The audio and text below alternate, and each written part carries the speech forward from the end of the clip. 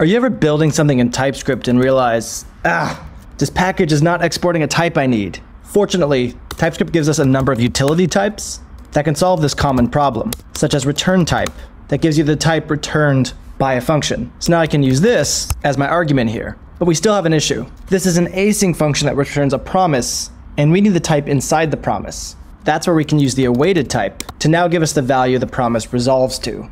But what if we need argument types for that function? That's where we can use the parameters utility type to get a tuple for the argument types for this function. In our case, we want the type of the first parameter, but lastly, we don't want content kind or undefined.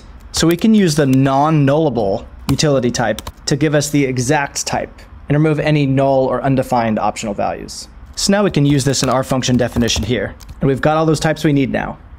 Utility types can also help us a lot with our React components. For instance, I have a simplistic component to edit calendar events, I have an event object on state, and we modify the title on change. But can you find the state bug in this code? Here, we're mutating the event object. If we do that, React won't re-render, and this input won't work as expected. We can solve that by making this a read-only event. Now TypeScript knows we're not allowed to mutate any properties on this event object. So now we know that we have to copy this event, like so. Now one problem you might still find is read-only is only top level, so I still can mutate nested objects in arrays. With only a few lines of code, we can make our own deep read-only type, which I'll include all of this in the full blog post, as well as a breakdown on how it works.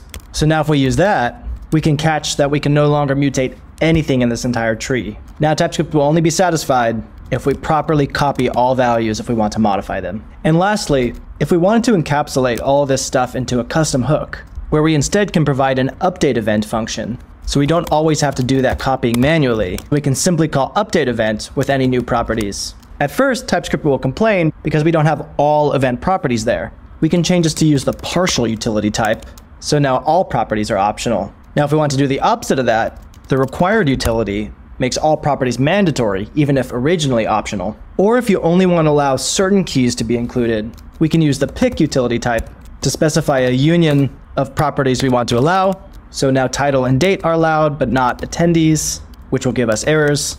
Or we can do the opposite with omit to include any property except those that we list out. So if we include attendees here, we no longer allowed to write it here.